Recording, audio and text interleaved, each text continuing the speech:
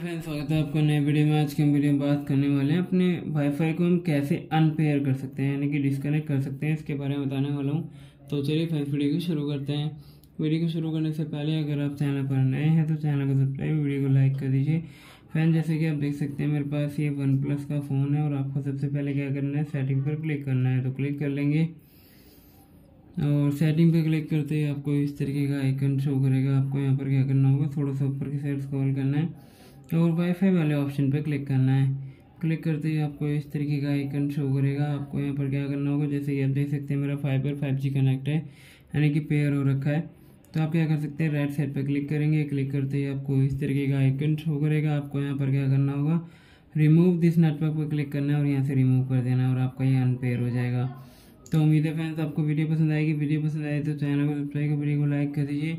मिलते हैं next video में। तब तक के लिए नमस्कार।